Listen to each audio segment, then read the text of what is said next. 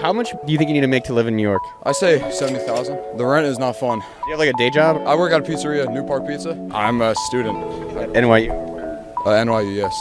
How much do you make working at the pizza shop? I make like 50 bucks a day. What are you gonna do after you graduate? Uh, pursue music. I like playing guitar a lot. I'll probably start a band. Nice little underground indie niche thing. You have like a music name? I mean, right now I go by Based John. All right, hell yeah, man. You have a great day, brother.